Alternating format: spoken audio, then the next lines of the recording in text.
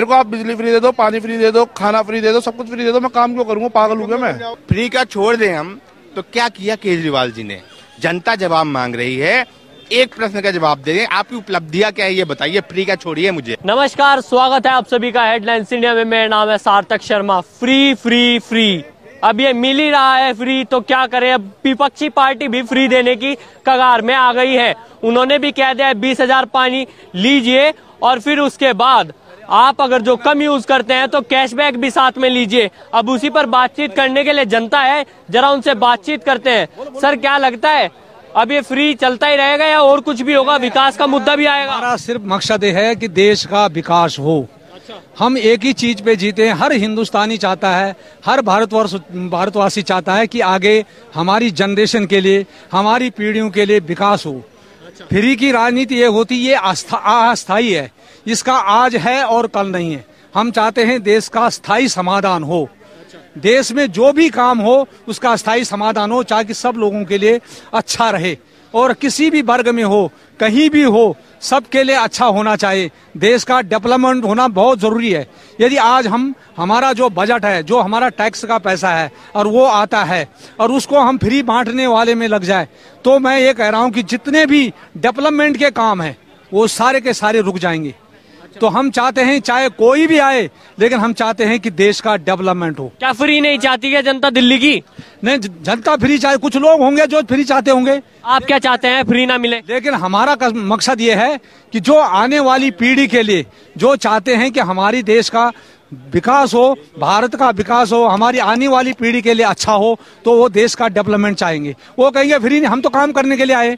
भाई भगवान ने हमें जन्म दिया है तो कुछ करने के लिए दिया ना? सारा कुछ ऊपर से थोड़ी लाए सब यही तो करना है। पर के, केजरीवाल ने तो फ्री कर ही रखा है आपने देखा ही होगा। पर कांग्रेस ये भी कह रही है कि हम भी फ्री देंगे अब। आपको एक चीज़ बताऊँ दोनों चीज़ों को एक साथ मत जोड़ो एक विकास है डेवलपमेंट और एक है फ्री फ्री कोई भी आदमी किसी भी आदमी को बिठा दो वो फ्री दे देगा। वो तो बजट में से पैसा काटा और दे दिया। लेकिन डेवलप वो बजट जा कहाँ से रहा है किसकी जेब से जा रहा है? कह रहा हूँ वो टैक्स है जनता का पैसा है लेकिन बात है डेवलपमेंट की। हम ये चाहते हैं, यदि आपने डीटीसी में फ्री दिया, या आपने पानी फ्री दिया, या कहीं दे मैं चाहता हूँ कि यदि डीटीसी पानी फ्री है, उसका डेवलपमेंट होकर के यदि उसका मुनाफा आता है डीटीसी मुनाफा देती है, उसको बोनस की तरह जनता को दो। यदि डीटीसी घाटे में जाती है, आज बसें की, बसों की बात होती है, बस, बसें जो हैं, हमारी जो बसें हैं, वो क्लस्टर की बसें आ रही है, बट डीटीसी की बस आनी चाहिए ना। तो डीटीसी की बस आएगी तो उनका डेवलपमेंट हुआ उसमें जितने लोग काम कर रहे हैं, वो नौकरी कर रहे हैं, उनके लिए तनख्वाह मिलेगी। तो उस चीज़ को उस फर्म को अच्छा बनाने का काम करना और उसमें जो डेवलपमेंट होगा उनमें नौकरियाँ मिलेगी रोज़गार मिलेगा और उसके बाद जितने भी लोग आगे जो काम होगा तो उसमें अच्छा ही होगा। लेकिन यदि आप उसको फ्री में दे दोगे तो उनकी तनख्वाह निकलनी भी बेकार हो जाएगी। फिर दूसरी जगह से एडजस्ट करना पड़ेगा। यानी नुकसान ही होगा। तो उसमें नुकसान होगा इसलिए मैं ये चाहता हूँ चाहे कोई भी पार्टी आए हम हम ये चाहते हैं राजनीति पार्टियाँ कोई भी आए लेकिन सबको सब ये डेवलपमेंट का रास्ता अपनाए जिससे कि भारत का विकास हो सके और जनता का भला हो। आपको क्या लगता है भाई फ्री चलता रहेगा? ये फ्री की चीज़ें अस्थायी नहीं होती है। ये कोई भी गवर्नमेंट दे भी नहीं सकती पाँच साल। हम एक बात करना चाहते हैं कि गंदगी से फ्री किया मोदी जी ने। जो लाइट थी जो सौ वाट का बल्ब जलते थे घरों में एलईडी लाइट लगा के उन्होंने फ्री किया ठीक है? रेलवे क्रॉसिंग बना के फ्री की। एक माँ के आँख में जो धुआँ जाता था गैस दे के फ्री किया उससे। तो फ्री इस टाइप के करने की ज़रूरत है। सौभाग्य योजना दे के हर घर में लाइट कनेक्शन दिया, इससे फ्री किया। फ्री होता क्या है? आप बताइए। फ्री आप कितने दिन? मैं आपको दस लाख रुपए दे दूँ। आप कितने दिन खा सकते हो? कितने दिन? भाई, कभी तो खत्म होगा। फ्री क्या होता है भाई? हमारा पैसा है, हम चाहते हैं हमारा पैसा विकास में लगे, जो अस्थायी रूप से हो, जिससे रोडे बने जिससे शौचालय बने दिल्ली में शौचालय नहीं नोएडा चले जाओ शौचालय आपको दूर दूर पे मिलेंगे। सौ सौ मीटर पे शौचालय मिलेंगे। पर कहा तो था सब जगह आ गए। हाँ? सब जगह आ गए शौचालय तो। भैया एमसीडी को काम ही नहीं करना दिया कहीं पैसे नहीं कूड़े कूड़े हो रही दिल्ली। किसी गली मोहल्ले में चले जाओ पानी भरा मिल रहा है आपको। फ्री का छोड़ दें हम तो क्या किया केजरीवाल जी ने? जनता जवाब मांग रही है एक प्रश्न का जवाब दें आपकी उपलब्धियाँ क्या है ये बताइए फ्री का छोड़िए मुझे आप। उपलब्धि बताइए आप। आप मुझे ये बताइए कि आपने कितने नौकरियाँ दी हैं पाँच सालों में? दिल्ली के बच्चे बेरोजगार हैं। दिल्ली के बच्चों के पास रोज़गार नहीं है। कोई बेचारा यहाँ पे आके खड़ा हो रहा है, कोई वहाँ खड़ा हो रहा है। क्या करेगा बच्चा दिल्ली का? नौकरियाँ कौन देगा? आठ लाख नौकरियों का वादा किया था केजरीवाल जी ने। अगर मेरी बात सुन रहे हैं तो आप जवाब दीजिए। तीन सौ चवालीस लोगों को नौकरियाँ दी हैं पिछले पाँच सालों में। तीन सौ चवालीस लोगों को। पाँच साल में बस। तीन सौ चवालीस लोगों को मेरे पास तो तीन मैं तो ज़्यादा बता दे रहा हूँ। इक्कीस करोड़ रुपए खर्च किए थे 2016-17 तीन सालों में। तीन सौ चवालीस दिए उसके बाद दिया ही नहीं नौकरियाँ। खत्म हो गई ऐसा ही है क्या अंकल जी? खत्म हो गया क्या सब? बेटे मैं तो पंजाब से आया हूँ। अच्छा। बात यह है कि आम दिल्ली में हर आदमी सूझवान है समझदार है कास्ट का चक्कर ही कोई नहीं है। अच्छा। फ्री की आदत जो है ना हर बंदे को माड़ी है चाहे गवर्नमेंट किसी किसी की भी हो। ठीक है ना लोग सब जानते हैं केजरीवाल ने क्या किया है? आने वाली पार्टी क्या करेगी? और बढ़िया काम होगा। कोई अच्छी गवर्नमेंट बनेगी इस बार। ये जो फ्री की राजनीति चल रही है कब तक चलती रहेगी ऐसे ही चलता रहेगा? बस माम इकतीस मार्च लास्ट डेट है इसकी। और केजरीवाल की एक्सपायर डेट इकतीस मार्च है। लास्ट आपने तो सारी बात खत्म कर दी। इसलिए खत्म कर दी है। क्योंकि जनता जनता को हम हम सभी जनता को हमें हमें अपने पे भरोसा है क्योंकि इकतीस को इसकी एक्सपायरी डेट है। और अच्छा फिर एक्सपायरी डेट में दोबारा कौन आएगा? मैन्युफैक्चर कौन होगा?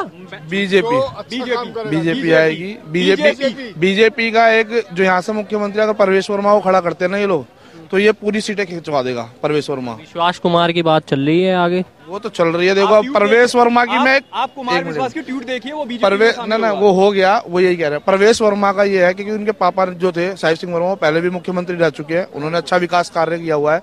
और जो केजरीवाल है इसका एक ही विकास हुआ है कि सिर्फ़ दंगाइयों को पाँच पाँच लाख रुपए दो आतंकवादी फैलवाओ यहाँ पे जो बम फोड़ रहे हैं उनको पाँच लाख दो सरकारी नौकरी दो उनके घर वालों को बलात्कारियों को मशीन बांटो ये विकास है उसका और कोई विकास नहीं है। पाँच पाँच करोड़ रुपए में टिकटें आज कांग्रेस ने कहा है कि बीस हज़ार लीटर पानी लो है ना? और अगर जो उससे कम यूज़ करते हो तो कैशबैक भी लो। तो क्या लगता है अब फ्री में ऐसे ही चलता रहेगा? उन्होंने भी उन्होंने भी दे दिया पानी। सत्तर साल से ये सब कुछ दे ही तो रहे हैं। सत्तर साल से ये गड्ढा इन्होंने तो खोदा हुआ है। अब ये दूसरा आ गया खोदने भी लेके केजरीवाल और कर क्या रहे हैं ये? अगर आप एक बात बताओ सब कुछ फ्री में दे दोगे? मेरा घर है। चलो मैं अपने पे ले रहा हूँ मेरा घर है। मेरे को आप बिजली फ्री दे दो पानी फ्री दे दो खाना फ्री दे दो सब कुछ फ्री दे दो मैं काम क्यों करूँगा पागल हूँ मैं? मैं पागल काम नहीं करेगी फिर दिल्ली की जनता। निकम्मी बन जाएगी। कुछ काम तो केजरीवाल ने निकम्मे बना दिया सबको? ये सब कुछ फ्री लेके बिल्कुल एक मिनट एक मिनट मैंने ये सोच लिया है। देखो मैं अंकल जी एक मिनट। भाई एक मिनट अगर सब चीज़ फ्री कर दे केजरीवाल जी एक खाना फ्री कर दे हर और कोई कमाने के कोई मतलब ही नहीं बनता ज़रूरत नहीं है। तो आराम से घर में आबादी बढ़ेंगे जनसंख्या बढ़ेंगे। अच्छा दिल्ली चुनाव का मुद्दा क्या है? अब की बार दिल्ली चुनाव का मुद्दा फ्री है शिक्षा है पानी है बिजली है सड़क है क्या है? देखो मैं तो एक चीज़ बता रहा हूँ समझदारी से बंदा वोट करे। फ्री के लालच में ना पड़े। अगर आप फ्री के लालच में पड़ोगे तो आप अपंग बन जाओगे। मैं तो ऐसा ही है कि जी अपंग बन जाएँगे क्या? फ्री के लालच बिल्कुल बिल्कुल बिल्कुल सारे लपंग में स्वीडन की कहानी बताओ स्वीडन में क्या हुआ है कि वहाँ गवर्नमेंट एम्प्लॉयमेंट का प- वहाँ पर बड़ी प्रॉब्लम हो गई है। तो स्वीडन गवर्नमेंट ने वहाँ पर बोला था कि आप जो आपको हम अलाउंस देंगे जी आप घर में बैठ के वहाँ की पब्लिक ने मना कर दिया कि हमें अलाउंस नहीं हमें काम चाहिए। तो ये सारा बैठ पर निकम्मा जैसे बना रहा सब दुनिया को। हाँ? काम सत्तर लाख सत्तर हज़ार रूपए देने के तैयार थी हर वोटर को। लेकिन समझदार आदमी इतना किसी ने सत्तर हज़ार का लालच नहीं किया उन्होंने बीजेपी मोड़ लगाई। बीजेपी पर मोड़ लगाई। आप भी हाँ जी, हाँ जी, आप ये देखो कि ये कहते हैं कि भाई मोदी ने दो करोड़ नौकरी नहीं दी। तो ये कौन सी नौकरी दे रहा है? ये भी तो घर से बेरोजगारी करवा रहा है और कर क्या रहा है? आदमी शराब पिएगा गांजा पिएगा नशा करेगा। जब रोटी दाल उसे घर में फ्री मिल रही है उसकी बीवी को कहेगा अपनी बीवी को काम पे जा बस फ्री है तेरे लिए। कि इन्होंने ये, ये कहते हैं कि भाई हमने महँगाई भत्ता बढ़ाया बेरोजगारों के लिए उसके मजदूरों के लिए। आप जाके ये देखो कि जो मजदूर फैक्ट्रियों में काम करते हैं ना उनको क्या कहते हैं बंद करके काम करवाया जाता है। आठ आठ हज़ार रुपए सैलरी है ये कहते हैं कि रोज का भत्ता उनका पाँच सौ सात सौ रुपए है। उनको आठ आठ हज़ार रुपए पाँच पाँच हज़ार रुपए में बंद करके ताला लगा के तब काम करवाया जाता है फैक्ट्री एरियो में। और ये कहते हैं हमने बहुत विकास किया इन्होंने कुछ भी विकास नहीं किया। बस समस्या ही आ गई है। हाँ जी ऐसे ही समस्या ही आ गई है दिल्ली में कुछ होगा भी। होगा कर होगा क्यों नहीं होगा? क्या होगा कौन करेगा? भाई हर जगह सवाल ये उठ रहा है कि फ्री फ्री फ्री हाँ जी। है ना? यही तो उठ रहा है। हाँ जी हर कोई कहता है बंद कर दीजिए कोई कहता है दे दीजिए। अच्छा जी। ठीक है ना? जिसको जिस चीज़ की आवश्यकता है सबसे बड़ी कमी ये है कि जिसको जिस चीज़ की आवश्यकता है वो उस तक नहीं पहुँच रही है। अच्छा। बहुत ही सही सही सही। पीछे रह गई बहुत सारी चीज़ें विकास की। जो चीज़ आप आप देना चाह रहे हो लेकिन जिसको उसकी ज़रूरत है उसके हाथ में पहुँचना चाहिए ना। जिसको ज़रूरत ही नहीं है वहाँ आप पढ़ा रहे हो। आप आप मिडिल क्लास जो आदमी है आज मैं कह रहा हूँ कि पंद्रह हज़ार रुपये कमाता है। उसको आप दो सौ रुपए की सब्सिडी दे दो। क्या फ़र्क पड़ेगा उस पर आप बताओ। मैं मैं भाई एक बात कहना चाहूँगा। दिक्कत ही होगी उससे हेलो है? क्या फ़र्क पड़ेगा उससे? अगर वो दो सौ रुपए उसको दे दे भी दोगे, भाई, जो व्यक्ति गरीब आदमी है, जो दो हज़ार रुपए भी अगर नहीं कमा पा रहा है, दो सौ रुपए अगर वो उसके पास पहुँच जाए, उसके पास पहुँच जाए ना तो वो सही हाथ में पहुँचे ना। जनता सब जानती है, ठीक है ना? जनता सब जानती है, उसको बताने की ज़रूरत नहीं है कि कि- किस पार्टी को वोट दो। सबसे बड़ी चीज़ है, देखो, जो जो बीजेपी के बंदे हैं, हर आदमी अपनी बात कहता है। आम आदमी अपनी बात फिर बात घूम गई फिर घूम गई बात। वोट किसे दोगे ये तो बता दो फिर बात घुमा के वहीं ले गए फिर उधर ले गए फिर उधर ले गए। जनता कभी अपना वोट नहीं खोलती है हमेशा। अंदर ही रखोगे बात को। एक नया चलन चला अंदर ही रख रहे हो बात को। बाहर नहीं निकाल रहे। बाहर तो निकाल दो ना। क्या? किसको दोगे ये तो बता दो। जो देखो जो विकास जो विकास करेगा जो अच्छे काम करेगा। विकास करेगा कौन? पाँच साल का विकास देखा तो। मोदी कर रहा है। मोदी कर रहा है। मोदी। कर रहा है ना? अच्छा पर दिल्ली में कौन करेगा? दिल्ली में? हाँ। दिल्ली में भी वही करेगा। तो आपकी बार आ गई बात। लो जी बात अब सामने आ गई। आपको क्या लगता है भाई बड़े मुस्कुराए पीछे से एकदम अचानक क्या हुआ? क्या लगता है कि कौन लगता है अब की बार जो यहाँ पर विकास कर पाएगा दिल्ली का? दिल्ली का विकास बागडोर जो है, प्रधानमंत्री नरेंद्र मोदी जी के हाथों में है और जो देश का नेतृत्व है, उनके हाथों में ही है। उनके हाथों के माध्यम से ही इनका विकास होगा और जो पाँच साल जो है देखा गया है, वह ताक झाँक जो है अरविंद- केजरीवाल जी का, वो चला है।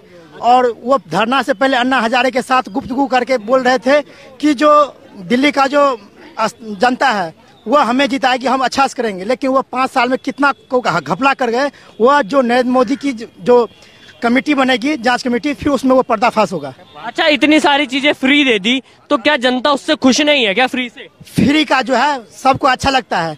अभी जो फ्री किए हुए हैं सरकारी बसों में सभी के बस की में फ्री जो किए हुए हैं फिर कुछ दिनों के बाद जब जब कर्ज जो बढ़ेगा तो उस वक्त बोलेंगे कि आज नरेंद्र मोदी जी के माध्यम से इसका किया गया और उसको नीलामी किया जाए। तो कर्ज बढ़ा करके नरेंद्र मोदी के माथों पर सौंप दिया जाएगा दिल्ली का बाग बागडोर।